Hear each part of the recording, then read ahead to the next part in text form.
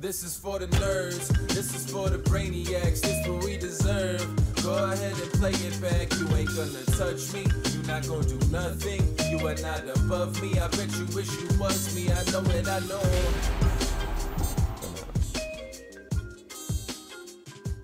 What's up, everybody? Welcome to another edition of the Only Friends podcast. We're here, we're popping. We are down. Man, we lost Melissa for the day.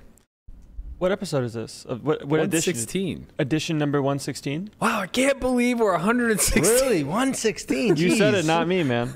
I was thinking before the show started how we do show up here like every fucking day, Monday to Friday. Yeah, you're goddamn right. We just show up. you We're the lunch pail kids. The who? The lunch pail kids. That's what we're blue collar. We bring our we bring our lunch pails with us to work our 12 hour days. What is a lunch pail? Oh, man. So soft. This kid's so soft. What's a lunch pail? Who's David Einhorn? We're really Man. going through it all. What the blue collar workers put their lunch in? Yeah, You get a thermos. A thermos. lunch box, but they call it a lunch pail. Well, Oh. well, it was a pail because it had to be steel so Right. that, you know, your shit stayed fresh I see. Mhm. in those Yeah, there was hot ass coal mines. thermos and- in there. Yeah.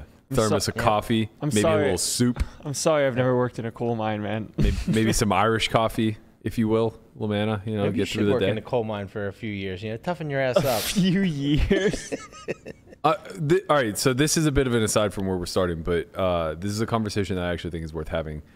So uh, I've had this conversation a bunch, and I I dig my heels into it even more and more every time I have it, and I think maybe it's a little bit of a byproduct of how I was born or how I was raised, but um, we can all agree that with every passing year, the the first world nations they tend to get a bit softer, right? hmm I I mean, I think we can come to an agreement on that where, you know, people of affluence are just completely ill exposed to uh, the, the downside of humanity. the hardships of life. Yeah, the hardships of life, if you will, right? Like the greatest generation thought the next generation was soft, and then they thought that generation thought we were soft, and now we think. Right. Well, I can recognize that our generation is soft, but goddamn if the next generation isn't like marshmallow puff children, right? Wow. So, MF- uh, MPCs. so this is something. why is everything an abbreviation with you? Because the Marshmallow Puff Children. I understand what it stands for. My question still remains. because it's a good one. okay, It is a good one, right? I mean, it's it's better than whatever you try to do with the Neil Donald bit.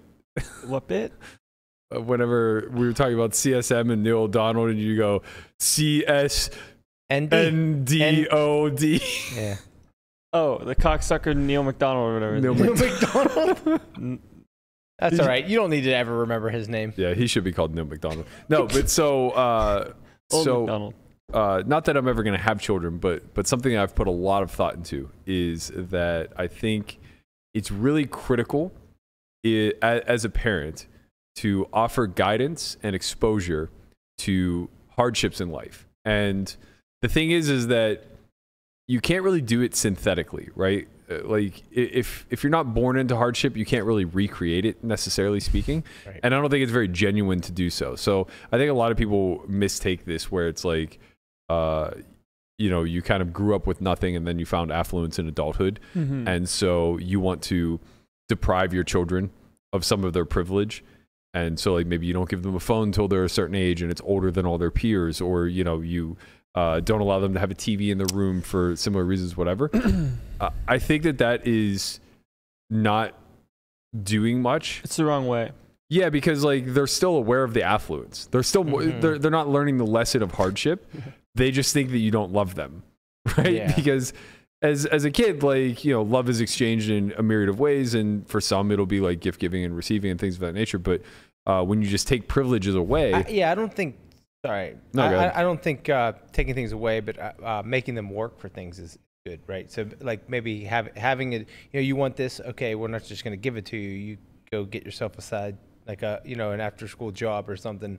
Well, sort of. Uh, I struggle with that too because um, I think I think something that's worth uh, making children understand at a young age, especially if they're fortunate enough to be born into affluence and have everything working in their favor. I think it's very important for them to understand the value of time Mhm. and how stingy they should be with exchanging it for money. Um, but how quickly they should be to exchange it for uh, the greater good. And I think that's like what I'm ultimately arriving at. So I don't think there's anything meaningful about making a kid get a paper route. Yeah. I- like going and work at Starbucks. Or Yeah, I, I just I, I truly don't think there are that many lessons born out of that, other Mhm. than uh, how to better waste time. I guess for a little bit of a return. right. Um, you know, I think like if you're born into privilege, uh, the the goal should be to be a high performer, not to be adequate, right? And like working these entry level positions, taking them away from other people who may need them, whatever the case may be. hmm Uh, I, I don't think there's a whole lot of upside to that. But what I do think is very critical is that there are infinite people in need Yeah. that uh, are you know willing to accept help in some capacity. And i didn't really learn this until college uh, in a manufactured way. I mean obviously just like growing up the way that i did i think i kind of started to understand it through my own environment. But um, i've i've always said if i have kids like one of the routine things that i think i would do would be to volunteer uh, routinely whether it's you know after school on the weekends whatever the case may be but like Right. have them exposed to the hardships of life through others Yeah. because i think that's the i think that's the fastest way to building empathy Like working at a homeless shelter. yeah work at a homeless shelter Mhm. work at a food bank work Mhm. uh, I, I mean like i think a lot of parents feel obligated to uh, reduce exposure to the dark side of life like never allowing their kids to come in contact with a drug addict never allowing their kids to come in contact with homeless people like Right. you know avert your eyes type of of, of behavior If you ignore it, it goes away. yeah, but I, I feel very strongly about the exact opposite. And again, maybe it's just because I was exposed to all of that at a young age. Right. Um, but I think it's like really critical for empathy's sake, for um, you know, really being able to just like recognize your plight in life versus others, and also just building uh more purpose into youth. Uh, at, at that age, like Right. their minds are so malleable, right? And you know, for better or for worse, we were all kind of like fed the American dream in the Mhm. sense of like you could be whatever you want to be, but like it was always We're the last generation for that. yeah, probably. but it was always it was always with the undertone of capitalism, Right, right? like It's- you you, can make could be most whatever you want to be that will get you rich, right. Right. right? Rather than Mm-hmm. you could be you could make an impact on society however you want, Right. Go to college so you can go out and get a good job and Right. Then get a house and, and live a very successful uh, Sustainable. Yeah. I, Yeah. I think seeing um, both sides of the coin is very valuable because it just it builds character. I agree. Yeah, Like it just builds who you are. As for me personally, I know like, my mom used to make me go to my dad just to like live life with him for whatever X amount of time to realize that I had a good life, or just like kind of like humble me. Like having the perspective of privilege. Yeah. Yeah. Or just like perspective of life, just in general, like what goes on outside of my four walls. Yeah. yeah, yeah. It's weird because I grew up around a lot of adults that I didn't respect, but um, with enough time spent around them, um, mainly because of who they were to me, whether it was my mother, my stepfather, whatever. Um, you know, I was, I, I just naturally developed empathy for them because where respect lacked, and I understood that like I was more adult than they were at a certain age. Uh, empathy kind of filled that void because I was at least of the impression of, or at least kind of understood that this doesn't make logical sense, right? Like there shouldn't be scenarios where uh, an adult is needing more care than a kid. So something has to be causing that. Yeah. And generally speaking, like we should care about the things that cause that, whether they're mental illnesses, whether they're uh, a battle against demons like drug and alcohol, whether they're a birth deficiency or, or defect, whatever the case may be, right? You come in contact with all this in life. And it's funny because, you know, growing up, these lessons, they, they kind of get taught to you for normal people anyway with like a grain of salt, right? Mm-hmm. So it's kids are so naturally curious, right? Like you're two years old and you see somebody who's handicapped in a wheelchair or whatever, and kids will just blurt out the most random shit. Yeah.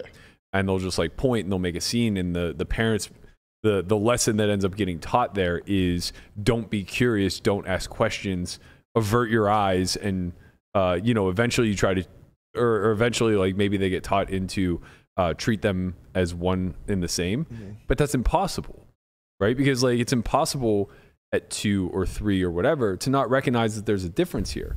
And their minds are curious and easily shaped where it's like if you actually just take the time to explain what what's going on and like, you know, in a in a very simple way, of course, like explain to me like I'm in kindergarten type of thing, but like, you know, some people were born differently, like that whole I'm not saying that everybody gets this right or wrong, but I just know like I can think of times where I've seen adults embarrassed by children's behavior that was very uh not malicious Mhm. intent, right?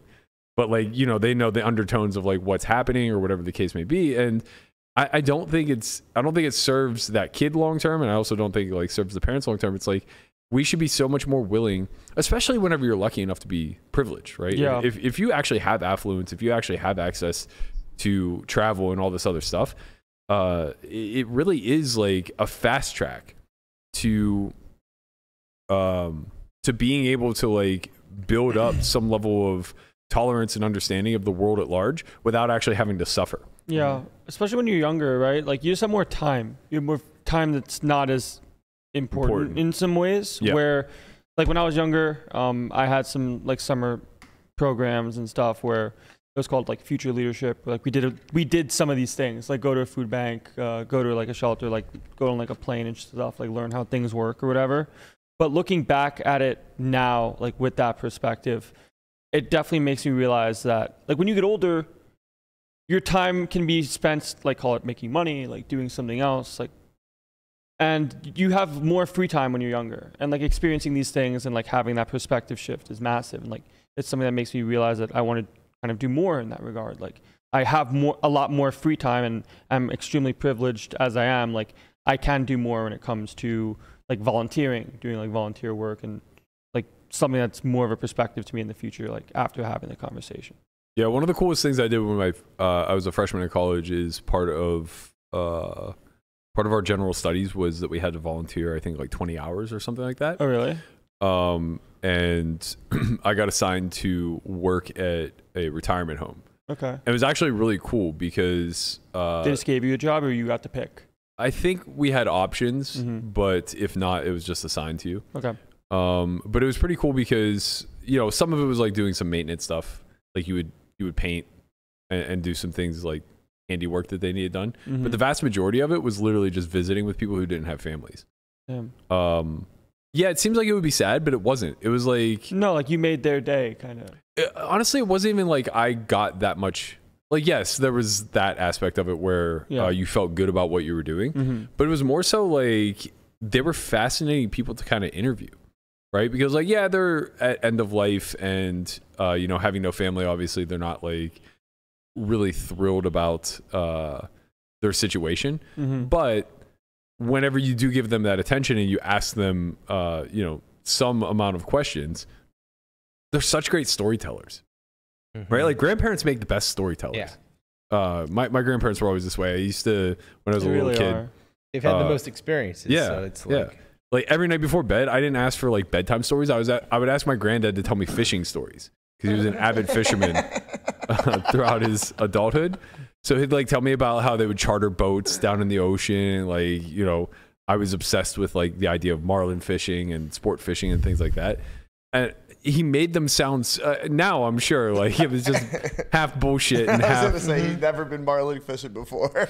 no, he had been, but like I'm sure the majority of it was he was just like half blacked out and barely remembers the trip. But like he always managed to to find the details that would just like it would turn into a riveting story to me, and he could tell them over and over and over again, and I would never get sick of them. He made them good.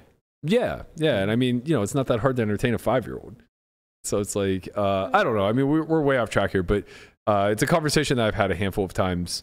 Um, there was a there was a point uh, I think it was like a year and a half or two years ago where Chris K was telling me that he wanted to get a job at McDonald's simply because he wanted to be accountable to someone other than himself, and I was like kind of encouraging him to not do that because Right. it's it's mindless, right? Like there's a reason why you you aren't pursuing this in life. It's because you're you're meant for something better. I was like, you know, volunteer somewhere, Yeah. uh, get exposure to people that you don't otherwise have any exposure to in life whatsoever. Right. And we, especially in today's day and age, like we have such an ability to build an echo chamber uh, be it our actual social circle or who we follow in the social media spectrum. Um, you know, at the end of the day, if we're only being exposed to a sliver of society, then sooner than later, you kind of like lose all sort of capacity to have any sort of comprehension or compassion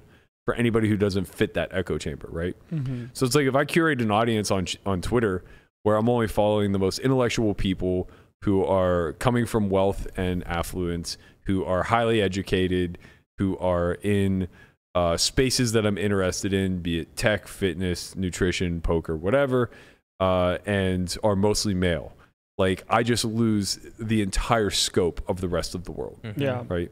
Sooner than later. Like it, it doesn't take that long before eventually now speaking to somebody of average IQ feels like talking to a toddler and uh you know it, it's it's it's our nature to gravitate towards the things that interest us most. Right. Uh, and I think like we should lean in more so uh in, into the things that we have disinterest in, I guess. In what way? Because I know what you're talking about, like especially with social media and trying to curate our own feeds for things that we care about. Mm-hmm. But at the same time, how do you, you can't see everything, right? No, of course not. Like how do you expose yourself to things that you just don't care about or don't have the? Well, I think you just recognize things that you're ignorant about uh, day in and day out, Mm-hmm. right? It's like I know that I, this is a very simple example, but it's like I know I'm terrible with like uh, world politics and uh, just overall current affairs of Uh-huh. the rest of the world. So it But benefits keep me, me. around. Yeah, yeah, if I want to know about the housewives of uh, New Jersey. of Uganda, Different, there's a different current affair. Housewives of Uganda. the the Colombian housewives of the They cartel. have, they have I just- housewives of Dubai now. Of course they do. I, they they should definitely get like Going the- global. they should definitely get like the Colombian cartel housewives. Mm. Now we're Now, talking. That would be uh, definitely a lot of drama. yeah. um, but yeah, it's like I, I could just go out of my way, even if I just followed something as simple as like National Geographic, right? Like even that alone is going to get outside of of my four walls, and that's obviously just a very simple example. But um, I think it's important, like when there are thought leaders in industries that you don't otherwise pay attention to, uh, to expose yourself to that. And for better or for worse, like as much shit as Joe Rogan gets, uh, and some of these other podcast hosts, um, and I'm not trying to say that he hasn't curated a bit of an echo chamber, but he does bring in enough outside stuff that I otherwise wouldn't be inter- interested in that comes across my desk because of it, Mhm. right? Yeah. So it's like a guy like Paul Stamets, who is uh, a, a medical, is it medical? Uh, he's some sort of scientist who works almost specifically with fungi, right? So he's like the mushroom genius. And it's like, that's not that important for me to know about, but it does take me into another realm of looking into the the positive effects of psychedelics, of um, you know things like psilocybin and, and the medical usages for those and stuff like that. And Mm-hmm. that's important because the majority of my life I'm incredibly anti-drug and uh, kind of treated as black and white where everything is the same where that's you know as you grow older and you get a little bit more exposure you Yeah. understand that's not true Yeah, I guess that's why you tell me to read more, right? yes It's so very important. It's the same kind of idea, right? You just expose the things that are important, and you wouldn't be looking at them otherwise unless you actually tried or cared to do it, right? yeah i mean that's kind of the problem is in high school we're encouraged to read Kind of. They Well- make you read. well we have a we have a pre-decided reading list Yeah. and we're expected to do reports on it. So Mhm. like they turn something into uh kind of like tedious labor Yeah. rather than uh trying to kind of demonstrate more so the the bigger picture of it all. Yeah, you're right. They really made it feel like shit, dude. Yeah, and it's like uh, just this podcast alone. Look how often we reference like that reading list. How many times did we bring up Lord of the Flies, Right. of Mice Farm. and Men, Animal Yeah. Farm?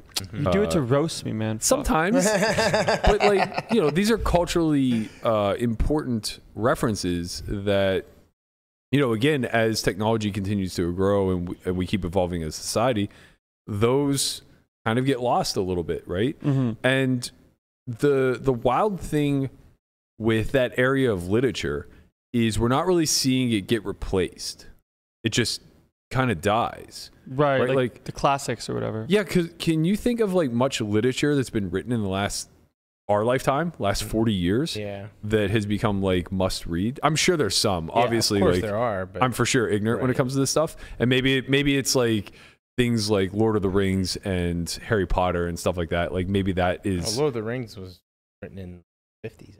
Okay, but but even still, Yeah, uh, I'm just saying like relevant to our lifetime. Yeah, Game of Thrones, that kind of stuff, right? Yeah, yeah, like maybe that stuff is what uh, becomes the new To Kill a Mockingbird. Right, but is it? Is that the right, Right. idea? Right, that's what I mean. Because like the beauty of like a To Kill a Mockingbird or um, uh, what was the one about the Salem witch trials? The, the Crucible? The Crucible. Like the the beauty of that stuff is it has a historical reference in time. Even though it's a fictional tale, it takes us back to a time that we have absolutely no other interest in, and you know to some degree history is important Right. right? So it's Yeah. like uh, maybe we just need to advance it a couple hundred years and get to like the industrial revolution points now. Like have have some good fiction written about Right. the Great Depression and, and things of that nature. It really is like funny that you say that because I remember oh, the Scarlet Letter. That's what I was talking about. Ah. Thank you, Jason. Go I ahead. remember uh, like in high school, uh, I did something called the IB diploma. So like you had for English, you had to read a book and like do a seven to ten minute video like conversation, but it was recorded, and then they judged you and graded you on like what you talked about in your presentation and stuff. Mhm. I remember uh, just in high school, people kind of wore not reading these books and giving these presentations and doing well on them as like a badge of honor. Right. It's like yeah. I didn't even fucking read that Mhm. book. But looking back on it, the person that loses out on not reading the book is you. yeah. Like you're the one that's not getting the enter- like the information out of it or growing as a person because of it. Because when you're a kid, you just don't want to. You just want to like have fun and do fun things. Yeah, right. You don't think like that. Right. Yeah. Exactly. That was And literally every teacher's like fucking opening statement to class every fucking school year. I mean, the thing is, it's uh, like let's be clear though, it is a really tough sell. Like it is. I, I'm not trying to. I'm not trying to go overboard with this. I'm more so speaking to the to the college age, like Landon's age group, way more so than the high school age because right like, now that you have the ability to read for on your own time. yeah, like nothing's more critical in your in your early adolescence into your teenage years than play. Yeah. Right? Like almost every major lesson you're going to learn at that time frame is going to be through play. And that's kind of why I'm talking about uh you know, having some level of exposure to this outside like like to me reading literature is uh closer to play when it comes to learning history Yeah. than actually sitting through a history class. Mhm. Right? So you're just trying to find the next thing adjacent that can make things fun. Yeah. Uh, and as technology advances, obviously we'll have like a lot more interaction in that degree. Mhm. But yeah, I mean, man, reading's tough. Like, I, I don't want to start tooting my own horn. I was not a reader. I didn't read a single one of these books that I'm talking about. Not one. Literally not one. you were one. one of the guys who just would try to uh, I get the was presentation without reading it. always, Yeah. always. Uh, I, I can't explain how much I hacked that system. Mhm. Um, but I, I'm, I'm just a very good listener. Like I learned that way. Uh, I remember like we did all the Shakespearean plays on audio tape instead of reading them because of the language. Mhm. Uh, and just you know vocally it just it sounds so much better than trying to constantly say like uh speaking old old english Right. um and i i I was so much more proficient at uh the shakespeare portion of of like honors english than i was uh things like the crucible and a scarlet letter like those were just boring tales to me Yeah. It makes sense because now that I'm out of edu- like education when it comes to school, like I don't have to do a book report on a book that I want to read. Right? yeah So it makes more sense to read them for the play aspect than it is the chore or like labor aspect. Of it. yeah and i think that's why people try to sell me fiction so much like i'm i'm pretty hard against reading fiction Mhm. uh just because like i i don't have a ton of time and like if i'm gonna spend 10 hours a week listening to an audiobook or reading or whatever the case may be i want to learn something new and i think a lot of people uh do derive a lot of value from fiction whether it's uh getting more creative in their own personal writing because they hear more creative writing styles uh you know improving upon their vocabulary or even just uh taking some meaning away from whatever the the underpinning of the uh, moral of the book is. Uh, but for me, like, I can't. I, Just I can't can't remember the last Just like good do it. fiction book. I tried to get through uh, David Foster Wallace's um, Infinite Jest three different times, and I find the book to be fascinating. Like Yeah. it's a riveting book, but it's so dense and his language is so complex that I would often just find myself listening to the same chapter over and over and over again and still having lost sight of the plot line. Mm. Right? Because like he's interweaving like eight, nine, ten different plot lines at a time, and he'll just go like chapters. And his chapters are long. He'll just go like chapters at, at a time without like referencing this po- plot line that he started like, you know, two or three chapters prior, and then immediately like come back to it. And it's just like, who is this guy again? Right. I, I mean, like for me, it's just like too much to keep track of. But Mhm. if you want to start talking about telomeres and uh, you know reducing inflammation and the amount of sauna time that you can possibly put in to live longer, like I, I'm just my ears perk up. Like my scientific brain is a lot easier to engage. I think through that. Yeah, it was funny when uh, we went to where I stayed at the DoubleTree, and they had a little sign, like a warning sign on the sauna. It's like, if you're in here for 30 minutes or more, like you should get out or something. I'm like, is this true? And you just go, no, No. nah, they fucking lying. That's that's just to cover their ass, man. Yeah, that's basically their insurance policy. yeah, Uh, well, this took a, a deep intro turn that I wasn't just- expecting. Um, We should wasn't on, more. it wasn't in pre-production. honestly, like this conversation is very adjacent to the one that I want to talk about with poker, but uh, I do want to fill in a little bit of uh, in between stuff with some fun things that have occurred over the last 24 hours. So, uh, first thing is uh, I just came across this tweet, and all it says is, "What type of training is this?" And it's a woman getting beheaded. Not Well, literally, not beheaded. not but- literally, uh, but you know, basically. Me, me, me llamaron de Colombia yo los guapos tengo un gato, me dijo el chuki mío What was that?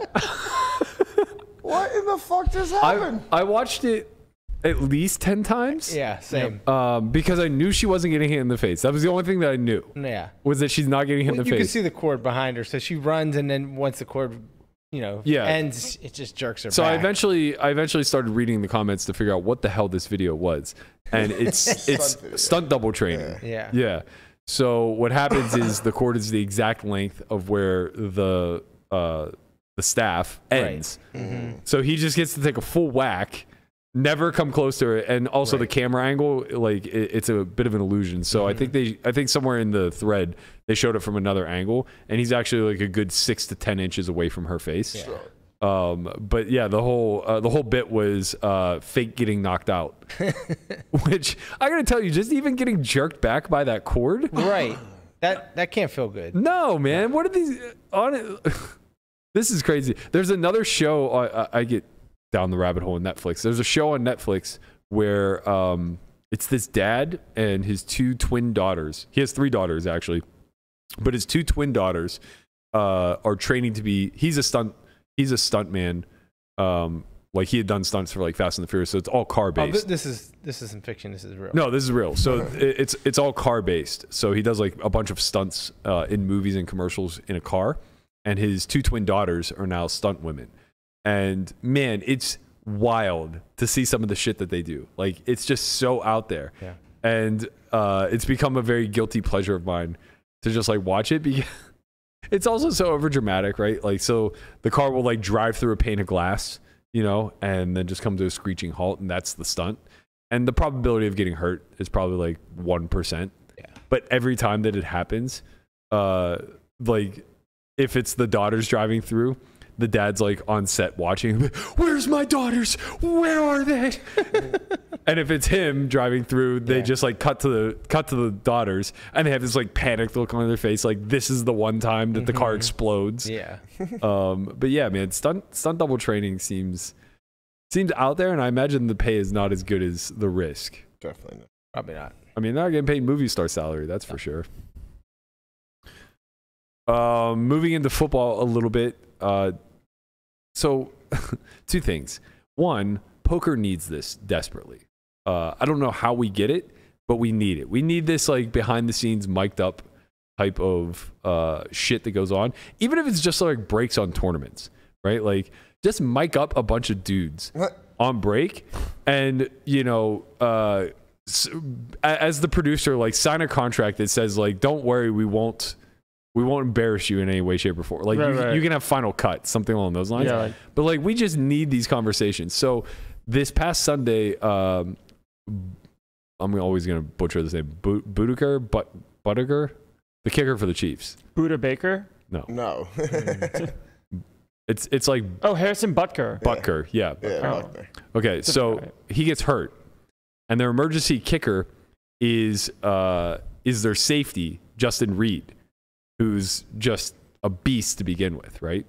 So uh, Fuck. we we have like a two minute video of him going up to the coach, going like, "I'm in," and he's like, "Yeah," and they just like roll with the whole bit. Butker's kick is away. He falls down as he kicks it. That's smart. Hey, stay ready, kick it. Booker, he just under his ankle. Bet. Heads up. You know, that, that backup plan may have to come to fruition with Justin Reid. Coach, you need me to do kickoff too? Yes. Bet. Kick off, right? Yeah. Mm -hmm. Don't worry about it. We got We'll just send it out the end zone? We'll just send it out the end zone? Let's kick it. You know Bunker went in? Yeah, I, Okay. I know he's out. I know he's out. Hey, you guys get some. Yeah, hey, you want to get some of that net right Yeah. He was a kicker in high school and a former soccer player as well. He was the emergency kicker during his days in Stanford. I like it. Do. Let's get it. Hey, we got to get our handshake down real quick. All right, what are we doing? Are we going for that? Or Are we going to go, let's boom, boom, boom, boom. I bet. All right, I like it. They shovel it inside. Edwards-Helaire! Touchdown! Kansas City! Two drives, two touchdowns.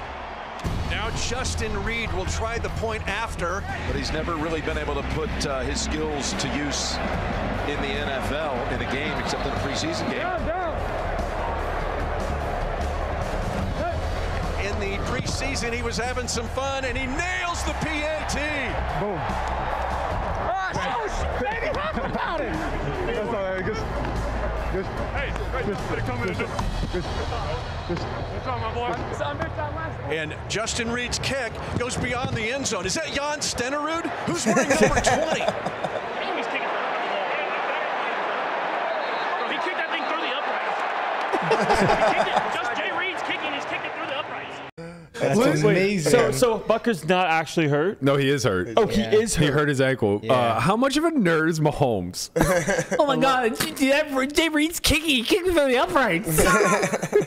Hey man, don't do Mahomes like that. What the fuck, wow. man? He's just like the best athlete in the world, and he's such a dork. I want to hear him talk other places. Oh Man. man, Uh, I I love it. Like that whole that whole two minute bit is just so good, and it's so low effort for the NFL because they obviously have a full production crew Yeah. every single game.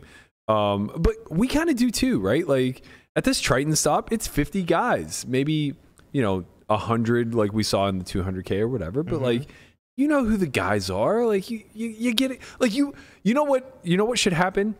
This is uh, fitting for today's show. Sam Grafton should be mic'd up everywhere. Yeah. Every fucking tournament, cash, and anything that man does, put a goddamn mic on him. Put a mic Yeah. on. Him. He is the best. Put a mic on him. Like I, I mean, the thing is, is you would like to have some footage.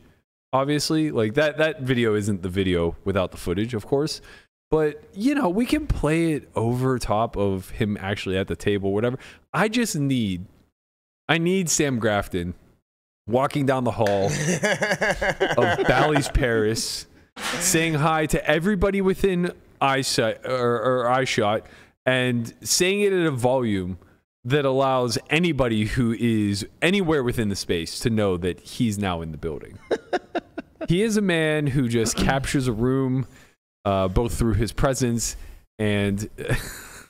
And his enthusiasm, if you will. Like, yeah, he's the guy I want to hear mic'd up. Uh, He's he's just so good too. Like, uh, for those of you who like haven't had the pleasure of getting to know Sam, don't worry, he's super approachable. So if you play this game, just say hi to him, and you'll you'll very quickly become friends.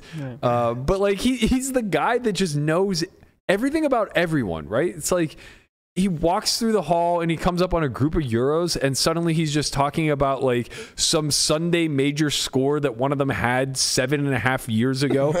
And then three seconds later he pivots and he's talking to like some og americans about the old 100 rebuy on stars and the wpt that they shipped three years ago. And it's just like how are you so in the mix bro The over under on the amount of mates you will hear from Sam Grafton, Yeah. gotta be over 20 in the two it, it really span. is. He's such a joy to be around, man. And like, Love if Sam. if I could find a mic'd up, uh, uh, he's he's my number one pick to click for for mic'd up. Mm-hmm. We we went deep in the 10k six max together, uh, not this past World Series, but the the fall one. And for as high pressure of a scenario as it was, having him around suddenly just like alleviated that. And I don't Mm-hmm. know why, because he's a fierce competitor. Yeah, he's Right. good at poker. Yeah, he's very good at poker and like good. he cares when he's at the table, but he has this ability to kind of take the edge off, Yeah. both for his own benefit as well as like anybody else who's like at that level of comfort with the game, I think. Yeah, it makes you feel just- comfortable in his presence. He just makes it fun. He's Yeah. just he's very good at that. There's a couple people that like I think I would love to hear Mike up. Keith Lehr is another one. Mm, we might have to mute that one. Keith- yeah, he would be Keith, Keith's, fucking Keith's great. getting some shady shit, man. don't give Like fuck. He would be great. Keith, Keith has like 10 bookies on speed dial. He has he's, he's picking up a dime bag to go that hook up with a hooker on break. I mean, it's just like, you know, Keith's out there in the mix. he would be fucking amazing. He- Him, he would be fun. Who else? Mm. Uh, there's got to be some some more mic'd up people that. off Point the is, we have characters Yeah.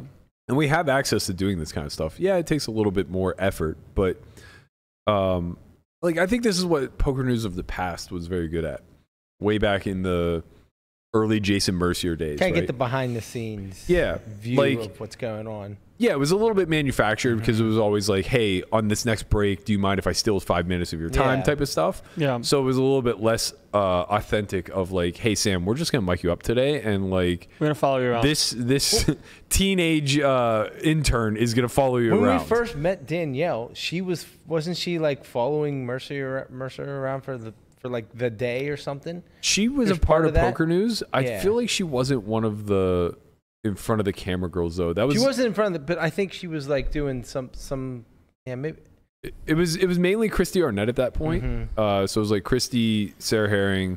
Um, I'm trying to think like who else was a part of that. Maybe, uh, yeah, I can't really remember. That was that was a while ago. I remember Kristy was the the biggest um, up and comer at that point. But they used uh, to do like a day in the life of Yeah. said player. yeah, yeah, And yeah. it was like it was great because you would just you wouldn't just see them at the table playing. You would get to see like how they prepared for it, what they did on breaks, what I mean, the biggest thing that's becoming clear to me was. is that seeing them play at the table is the most meaningless part. right. It's the driest footage. right. It's it's actually the most boring thing of all time. You Yeah, because look at someone and they sit there and they. Put It's just out. so impossible to capture them at a meaningful moment. exactly. Mhm. And even if you do, you don't have whole cards. No.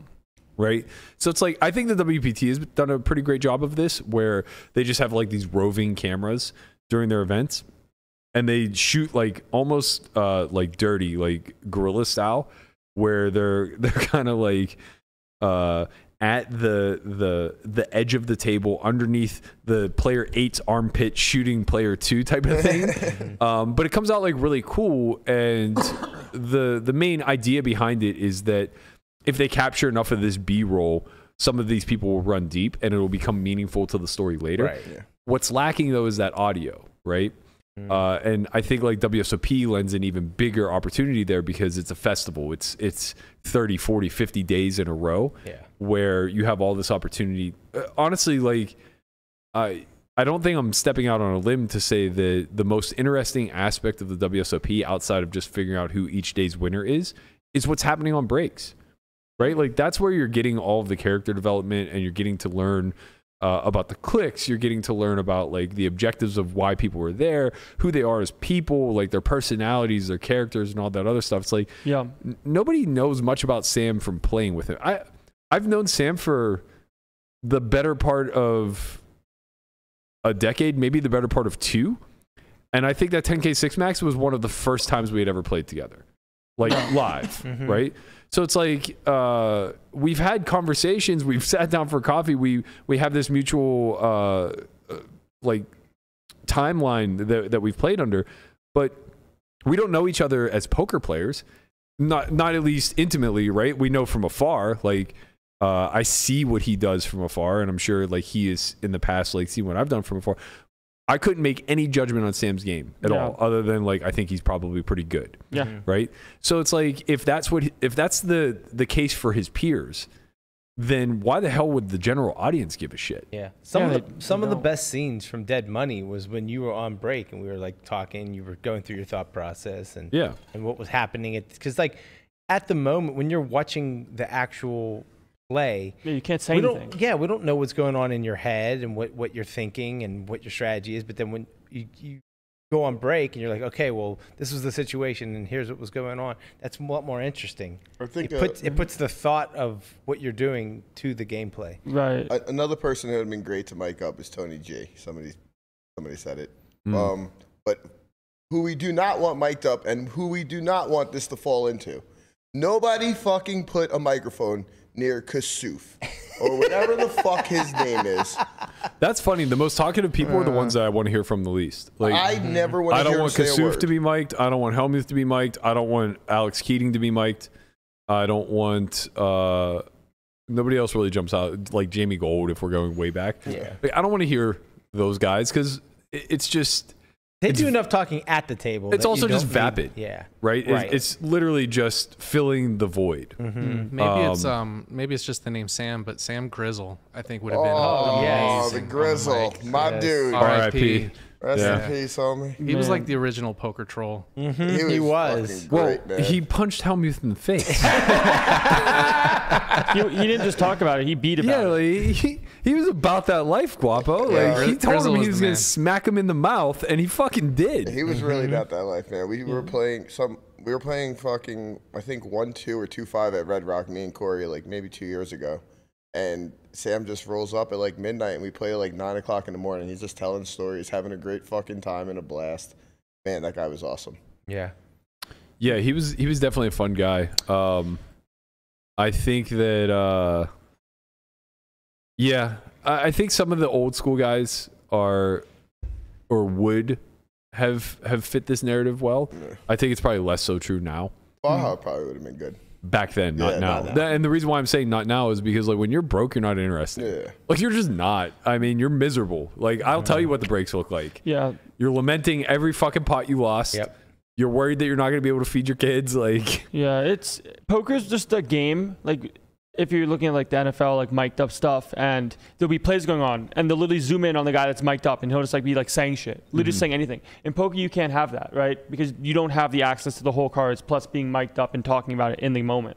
Which is why, like on breaks, it's so much nicer. Like Brian's saying, all these footages are better because you can actually get into talking about stuff that's important. Where Yeah, at the it- table, you can't say shit. Right. It just varies. It's like, you know, you get some strategy from certain groups, you Yeah. get some jokes from others. Like Yeah. it, it's it's a real window into what the game looks like. Yeah. Uh, and I think that like we often try to create projects, especially around the World Series, that try to illuminate this. Yeah. But the problem is we can't really do it. Um, we we can't really do it at a, a grand enough scale, right? So like when ACR does the punters pad, Mhm. it's just the ACR pros, Yeah, yeah. and now the only people that care are the audience that are already watching the ACR. yeah, pros. like the ACR fan base. Right. And it was the same thing when we did it with results may vary. It's Right. like we weren't going to get much attention outside of people who already followed Solve for Why. Right. I think you really need to find uh, an objective third party that only just cares about poker in general, right? Like a Poker Go or a WSOP or Poker News or mm. whatever. And they're just literally trying to find, you know, those that are willing and those that are names. Everything ranging from vloggers to high stakes, high rollers to cash guys to MTT grinders to Yeah. you know whatever like you you you could just you just fire a bunch of shit against the wall and see what kind of content you land Right. Like it seems like when it comes to who best suited for these things, it seems like it's the tournament operators like WPT, like Poker Go. It makes more sense for them to do like a mic'd up version kind of thing than one off like individual brands or Uh, like that. Yeah, I mean, well, it's it's very different. WSOP and WPT are very very different. WPT is a Yeah, like licensed. yeah, yeah. It's a licensed brand to a casino, Mm-hmm. where WSOP is actually uh, a festival in and of itself, right? Right. So the the operations of WSOP fall under the WSOP umbrella, Yeah. where WPT is just like they have a staff that goes to your local casino, and then they have its uh, a side TV deal. Yeah. So it would be more like Poker Go uh, when it comes to WSOP. It- because poker. Go- well, Poker, even- not Poker Go even- is the production of WSOP. I didn't even mean WSOP in general. I just meant like those things like PokerGo or WPT type seem like the Yeah. better better suited for it. Where like they just put stuff on their YouTube channel or whatever, and like they have the mic up segments and stuff right? Yeah, yeah. for yeah. little bits versus you like Solve for Why trying to do it or ACR trying to do it or whatever. Yeah, the it's just less outreach overall. correct. The the incentives just don't align Yeah. at the small uh, at the small level. Speaking of Sam, huge congratulations to him as he did win the Triton 200K for 5.5 million. Motherfucker won. The man Congrats, did it. OG. Ring a ding ding, baby. Let's go. Best in the world. Best in the world. Legit OG. Been around as long as I can remember. Squid Poker, the one and only. Um, beat a goat heads up. Linus Love coming in second. I didn't get to see the heads up match, but I saw in our chat yesterday everybody was saying Linus kept making sets heads up, which Was he? very hard to do. and not the right kind of guy that you want to be playing against when Right. he makes sets because he won't just have sets. Right. He will mostly never have a set. Right. The good news is I think Squid had a big enough uh, lead to begin with that he was still able to overcome. Ah, Uh, largest career score for Sam. Obviously, that goes well without saying. Um, I and I think that this is going to carry us into the bigger conversation that I wanted to have. Sam's no spring chicken. He is. Uh, he is not a young gun. he's a winter chicken. I don't know what that means. He's just older. Uh, He's- yeah. means Went through a few seasons. Yeah. fair. Um, but yeah, he's no young man. Uh, this is not his first rodeo. He's been on the high. He's a little bit newer to the high roller scene, I would say. Maybe the last since COVID ish. Uh, started playing a little bit bigger, but uh, he became a Stars ambassador probably around the same time, right? Like 2020 ish, I would guess. Maybe 2019. Yeah, I think a little before. Yeah, somewhere in somewhere in that neighborhood. Um, long time coming, in my opinion. Always represented himself and the game incredibly, um, incredibly well, and I think Stars recognized that with him. Yeah. Uh, so it was very happy to see that happen. Um, and I think at that point, like, if you had to ask most people, like, you know, has Sam made it? I would think that they would qualify that as kind of like the pinnacle of his career, like a forever grinder who had been, who'd pretty much done everything that you can do in the online streets, uh, made a good living, and got rewarded with uh, a very good brand ambassadorship.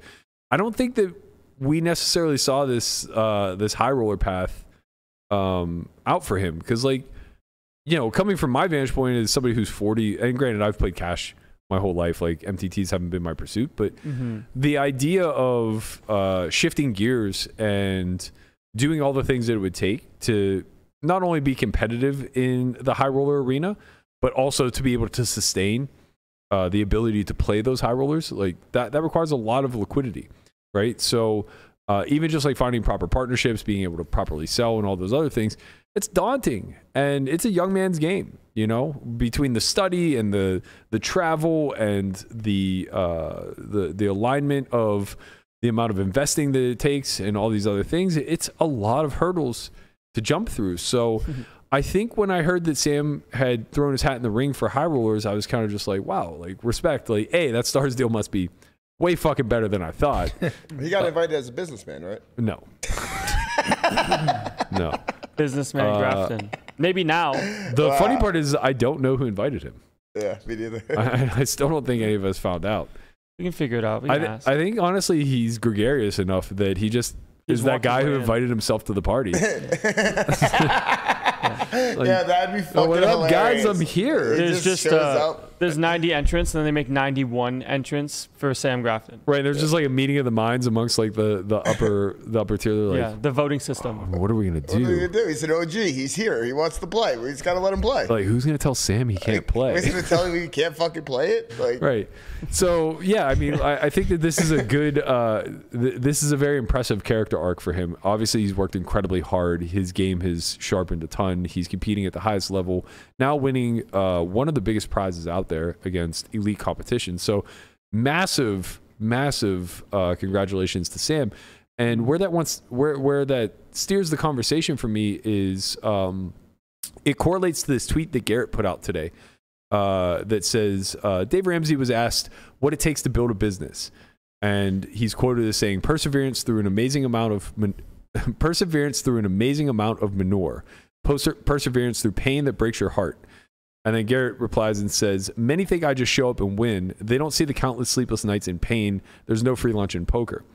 Uh, and the reason why I think that this is relevant is not even necessarily because uh, I think Garrett does or does not struggle that much with these things. Uh, not even necessarily because I think that people are or are not aware that it's fucking hard to get to the highest ranks, but it's so much more than what you see now, right? Like on the surface, to somebody who's not very aware of poker's history, you look at Sam Grafton shipping a high roller and you just say, this guy's good at poker. He's been around for a while and like this is no shock. It's a long fucking journey, mm-hmm. Yeah. right? A long, painful, persevered journey that doesn't just happen for anybody who's not willing to suffer a Yeah. lot. And I think that that's Garrett's ultimate point, even if, you know, he is uh, kind of stating it from a place of he feels this way, right? Because I'm sure it does apply to him. As a matter of fact, I know it does. Like, as somebody else who's kind of in the arena, like, there's more ple- or there's more pain than pleasure. The the lows are way lower than the highs can ever be. Uh, and on top of that, there's so much fucking uncertainty. Even when you're just put into the most gifted opportunities imaginable, there's still so many outlier effects that take place, be it funding or having a seat or the ability to play or the ability to play well. Like all of these things are impossible to just have pure alignment with all the time. And I think that's what he's speaking to when he says, it looks easy to you. It looks easy to you, the viewer, Yeah. when I just show up, cover the table, flop a bunch of sets, and break everybody, right? Mm-hmm. and from Sam's point of view, it's like, yeah, it looks easy to you. Like for three days, I got dealt good cards. I played my best. Uh, I outmaneuvered the competition, and I walked away with one of the biggest prizes that will be awarded this year. Yep. So to all of you, that looks easy, and the result is, in fact, largely going to be a byproduct of variance, right? That 100%. those individual results. Especially for tournaments. Right.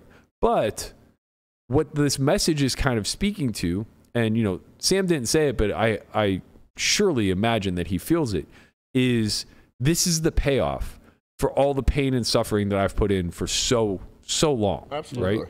It's just like I don't think people understand how rare and how elite these high stakes players are at what they do and how much sacrifice it took to get there. Even as, and maybe even especially for the youngest of the group, right? Because a lot of the young ones that are in the arena, actually, maybe I shouldn't say especially for, because obviously it's crazy if you've been playing for 20 years and you're still at this level. Uh, the amount of like perseverance there and uh, ability to continually reinvent yourself is just worth your weight in gold. Right. But for the young ones, they have to overcome so much. Like, They have no access to liquidity. So either they had to win a whole fucking bunch of money to get a nest egg that they could potentially like sell to an investor, or they had to get so good through countless hours of study that they could prove to uh, uh, an investor that they're worth the buy Right. right? Nobody just wakes up with millions of dollars. Like, uh, I think that there's this uh, misunderstanding amongst the general populace that when somebody under the age of 25 is playing nosebleeds cash or high stakes tournaments, that they are trust fund babies. And I got to tell you, in my 20 years, I've never met one. You met one. Who? John Perry? No. No? Why do you? Who? What trust fund? His dad's Ralph Perry. Uh, His dad is a professional grinder. like what fucking trust fund? but he just didn't he just start playing high stakes when very young? No, he won fucking uh, he- WPT. He, won a WPT in Florida and got second in five diamond. He had two seven figure scores like within less than twelve months of one another. That'll do it. It's like, yeah, you find a way to fire off. He's young, so like he just put it all at risk, and he was also probably able to leverage those scores into backing or some sort of investing. Yeah, and even for like uh, a friend of ours, like Espen, like Espen's been playing poker since 2000 fucking four. Yeah, 2004. As long as I have. it. Like he's been playing. That's a fucking long time. It's Yeah. Almost 20 years. Yeah. And like someone tells you, hey, 20 years down the line, if you start playing poker, you're gonna win the main for 10 million or whatever, or 5.5 after like you swap or whatever. Like doesn't really. Not the point. The point is you have to get there like 20 years later and be like, you know what, this is still what I want to do, and this is still the process I want to take. Because you could even make the argument, which is probably just true, that the best player in the overall tournament, in each instance of a tournament, might not actually win it. Right. Right. Just variance is just Yeah. so real. You know, like the best player could have been out Day first, ta- like day one, Yeah. day two, like can't re- can't re-enter or whatever. Like it's Landon just Tice. No, not me. I didn't play a tournament. You got, but you just have to keep fucking showing up, and like people forget you, there's a lot of value in just showing up every day and actually putting in volume, and especially for tournaments because you never know what's going to come in. You just have hope. A lot of hopium in tournaments. A lot of hopium. And yeah, that's kind of the craziest thing, right? Like Espen wins the main event for for 10 million, right? Uh, and let's assume he had all of himself. Sure. Yeah. Even even if he did over a 20 year career, now that just averages out to a 500k win rate per year, right? Which is It's not nice. bad. No, it's not bad. It's not too bad. It's not too bad, but like when people think of professional poker players, especially ones playing at the highest stakes, they don't think that they're making uh, an advanced lawyer's salary, Yeah. right? They don't think that they're making uh, something along the lines of a CEO of a very small startup. I mean, I don't know. I mean, what what do you really? I, think mean, people think of poker players similar to athletes. Really. Yeah, I think that they Especially if think. they I don't think know they poker. think. Maybe I just I'm too inside. You know to poker. Yeah, yeah. Because like that's not how I would perceive it. I would perceive it as yeah, like No. I would think the maj- majority of good like professional poker players make like low six figures. That's because We're you've talking- been one. Yeah. Yeah. We're talking. You also know Right. not to tip on the main event, but like the general populace is going to leave a 100k No, right, tip. right. and they think that th- this is akin to being like a baseball manager. Mm-hmm. Right. Like- And also, most of the general populace will think of poker players as like the elite, like, oh, Dean Eggs, Phil Hummy. People Yeah. just have eight figure plus net Yeah. worth. Like, Right. oh, of course Yeah. Mm-hmm. you make a bunch of money. You're a poker player. Do you know how often I get ridiculed and scorned for being open about the fact that I was backed when I was playing 300, 600, 1200? Do you know how many of those same people think Phil Ivey's been playing on his own dime his entire career? Yeah. Yeah it's right. laughable. Right. right? Like this guy hasn't played on his own dime for the better part of a decade, Mm-hmm. uh, and there's nothing wrong with that. Of course it would not. be it would be stupid business Right. for him to have some amount of money. I mean, he literally plays the biggest fucking games in the world, like Mm-hmm. games we can't even fathom. You know, these games in Macau that are potentially as large as like 2K, 4K. Mm-hmm. You need Tens tens, if not hundreds of millions of dollars to be in that arena. There's tens of millions of dollars on the table. Right. Yeah. So it's just like, does he have all of himself? Of course, fucking not. Right. And that's the thing. The general public is they they they are just willfully ignorant to that, and that's fine. Yeah. Right. Like it's it's not that big of a deal. But then what ultimately happens is any truths that get leaked turn into scandals or negativity or whatever the case Yeah. may be. And it's a huge byproduct of us just doing such a poor job of of kind of like educating the market and and uh, selling our industry for what it is. I mean, you see it all the time when people win a tournament. People ask, how much did you have of yourself? Like, it doesn't fucking matter. right. It just doesn't matter. Like, what matters is the skill set. What matters Mm-hmm. yeah, is how good you that's are. That's not how the human mind works. No. Right. So it's well, that's why the general populace Yeah. thinks that everyone that's a pro poker player makes infinite, Mm-hmm. Right? Well, it's just more so if they see them on TV. Right. They see them on TV. They see that they have this. Like, people will look at if they, they don't know anything, and they'll look at your total tournaments like cash. Right, they'll see a and they Hendon mob. think that's like you have that money in your bank account. Yeah, nobody Right? has the amount of money. It's like, oh, Berkey has you know five million in tournament scores, so he just has that sitting laying around somewhere. Right. Yeah. Yeah. If only you If you find it, let me know. that that is that is kind of the crazy thing about uh, uh about being an avid watcher of sports, poker, whatever the case may be. Mhm. Um, pe- basically people who are working a nine to five and getting you know x amount of dollars for their service whether that's you know anywhere from minimum wage all the way to making like low to mid six figures uh, i think the vast majority of them think that the only thing preventing them from saving every penny is the fact that they only make their uh, living wage times some amount, right? Times 0.5 or times one or times two, whatever, right? Like they only have so much excess money. So it's impossible to save. But I think they see industries like ours where there are so many like windfall events or what appear to be windfall events, right? It's like Yeah. I win a half a million over two days uh, playing high stakes poker. And they're just like, oh, so like you're just giga rich now. Like Right. Yeah. that just all goes right to your pocket. It's like, mm-hmm. well, no, I sold half of myself and Right. I've been on a 200K downswing. Right. The other half goes to taxes. Right, Like, and then yeah. part of it goes to taxes. It's like when it was all said and done, I mm-hmm. netted I netted like 10k. Right. Right? It's just like, and it's not because I'm an Got your main event buy-in though. You're good. Right? It's like it's it's not because you're an idiot. It's not because you're bad with money or anything along those Mm-hmm. lines. It's because it's business. That's Right. you know, it, it, you're just watching the the money flow aspect happen in real time. Right, Right. exactly. Right? Like, Like- if, you- if you just like if you looked at it like a, a business and how much a business spends, Mm-hmm. right? And you're like, wow, okay, the, or, or how much their, their revenue is, right? Right. You just look at their revenue and nothing else. You're like, this company's just killing it. But then you, and then you look at the overhead and how much their expenses are. You're like, okay, well, it's uh, you know Less than a you lot thought. of that. Yeah, yeah. If yeah. instead of watching a poker game, you watched a ticker of like an, an amount of products sold for Right. X amount of dollars, Yeah. and you just watch that for like six hours, and you're like, holy shit. Right. Dude Wipes just made X amount of dollars over six hours. That's insane. Yeah. And then afterwards, they said, and here's our expenses right, right for this yeah. month, Here's right? payroll. Here's all everything that goes into it. Right, you wouldn't Yeah. just suddenly be like, "Wow, this company's inept. Yeah. They're so stupid. They're spending money." Like, it's like, of course, the the money earned doesn't go directly into your Right. Mm-hmm. pocket. You're always only going to be worth a fraction of what you accumulate. right. Uh, and you know, I, I, I, I, speak about this stuff out loud because I do think it's important to normalize the industry, Mm-hmm. right? I think when we glorify the industry as uh, just a pure gambling industry, Mm-hmm. then this sentiment that that Garrett puts out kind of does uh, get lost on everybody, right? Mm-hmm. And I think it's really important. Like, I'm glad that he spoke out about this because I do think it's really important. We don't have any media. Uh, and I remember that there was a time when uh, Jason Koon was very outspoken about this kind of stuff too.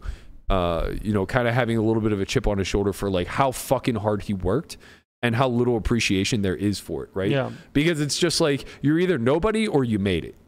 And like once you make it, they forget that you were once nobody. Right. And they just have this high expectation that like you're just going to show up and perform every single day and that it's effortless to you. It's like we're humans. We we all go through it. And you don't always make it. So a lot of us that you're seeing and Yeah. uh, you know giving any sort of like uh, credentials or, or credence to, we're the survivors. Yeah. Right? Like, yeah, we worked really fucking hard, but we have a lot of survivorship bias too. Mm-hmm. It didn't have to be us. Yeah, like the reason why it looks so simple is because you've worked so hard in the past. Right. You know, Right. And like it that just goes up, like falls upon deaf ears and looks, oh, like he just knows what he's doing. He's so good. It's like, well, how do you think he got so good? Right. And then the counter to that is everybody who thinks that like they could just step right into their shoes and do the exact same thing if it if it were just the money factor. Right. Like, oh, if somebody gave me a half a million dollars, I'd sit on Hustler and cover everybody and just win every day too. It's like you wouldn't though. You wouldn't because you don't have that 19 years of experience mm-hmm. of of suffering and going through the pain and the the discipline necessary to actually be in an opportune situation to excel right? And i i think that these conversations are important because again like we don't have any sort of like outlets that that build these characters right we we oftentimes just get to know them in retrospect Right. like once they are somebody Right. then we get to hear about what allowed them to get there and Yeah. all you're listening to at that point is survivorship bias Right. Mm-hmm. And most of the time, you might not even care about that stuff. You just make up your own opinions as to how they got there. Like, oh, he got lucky, he did this. Oh, he did this. well that's what happens with all the euros Yeah.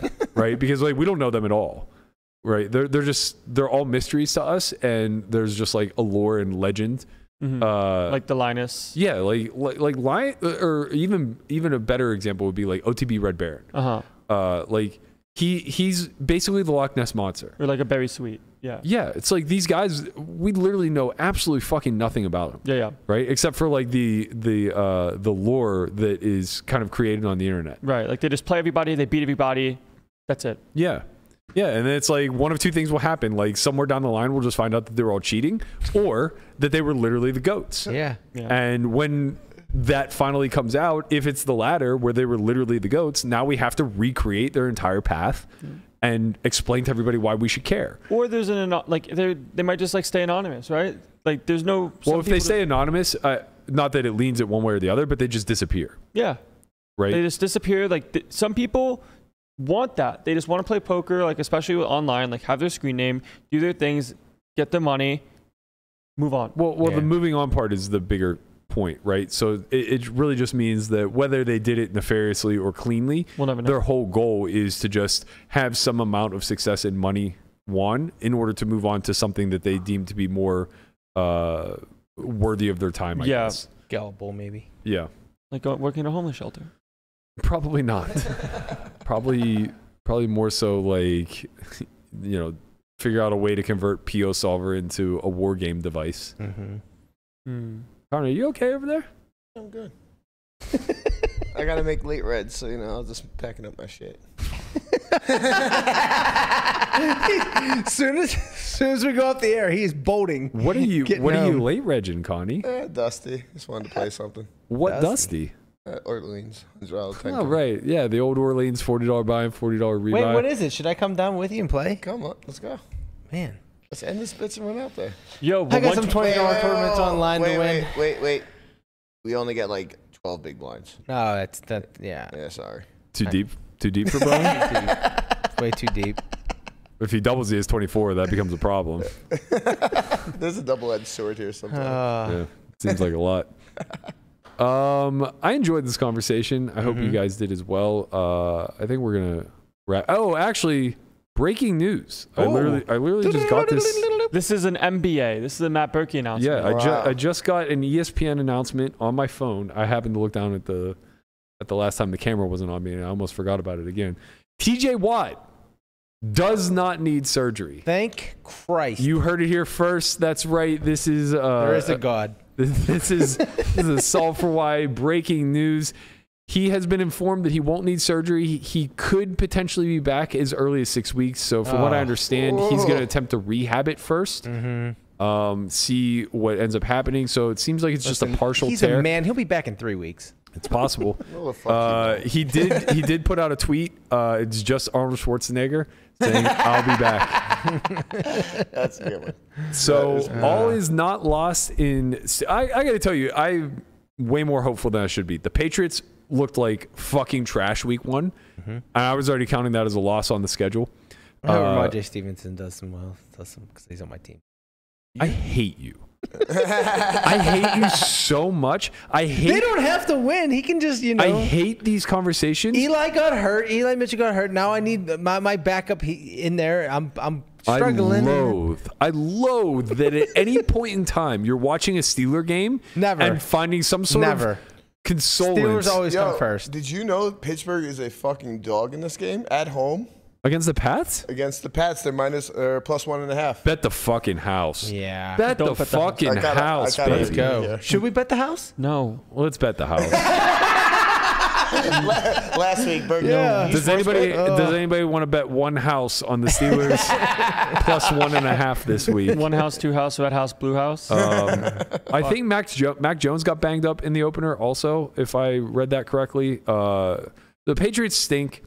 Uh, so I'm hopeful. I'm hopeful for a two. and- I thought we were going to start out the season possibly one and four, and it looks like we might start out two and oh. zero. So I forgot that they were playing the Pats. This like that slipped my mind. So no, I don't want him to do well this week. Roger Stevenson, that is. I want him to do well. The Right, following moving forward. Okay, so Self-serving Sorry, that, that's Sure. why. That, I see why you uh, lost your mind there for a second. No, I, that yeah. That's Yeah. all I was saying. Yeah, because even if they win, I don't want to deal with with the whole like What we went Uh, through last week. yeah, like my fantasy guy is going off against my favorite team. Like no, right. I honestly I'm so biased that outside of having like a top 3 draft pick, if they're playing the Steelers, I just bench them. Almost always. If it's like a wide receiver three, running back two, or worse, gotta- I just bench them No, against the Steelers. That's not. That's First of all, Steelers D lockdown. Yeah, That's sure. not nice. Smart, smart to bench them anyway. Uh, and secondly, fuck them. They're playing us.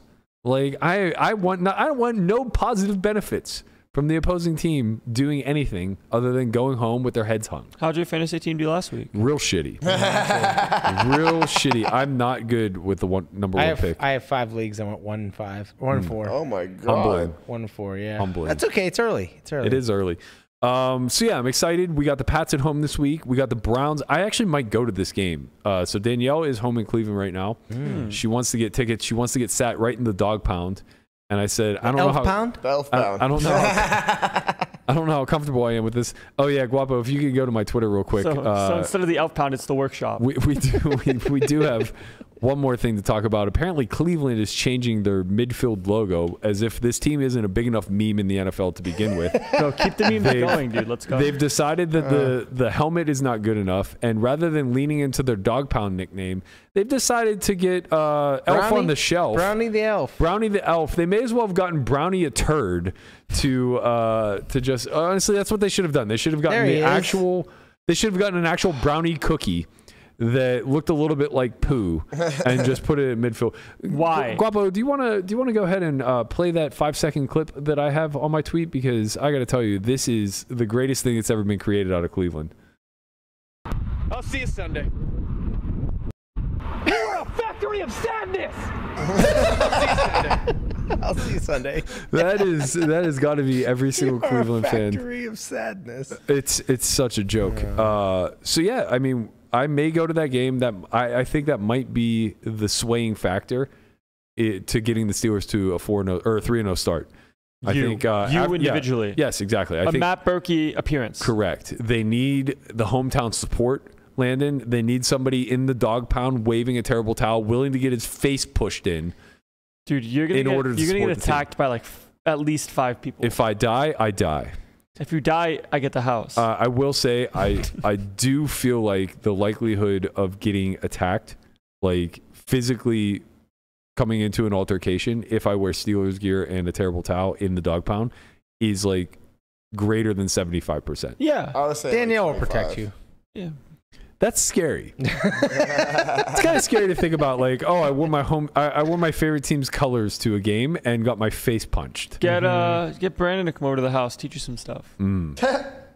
That's what we need. Brandon will teach you. Maybe I'll just maybe I'll just invite Brandon as my personal bodyguard. Yeah, you, Brandon, and Danielle. Yeah. Actually, I- Andre might be back by then. I could just have him like there, ready to roll up on Kick anybody. somebody who- in the face. Start, shri- Exactly. start shrimping on people. yeah, just just kick some people in Choke the some face. bitches out. Yeah. That's right.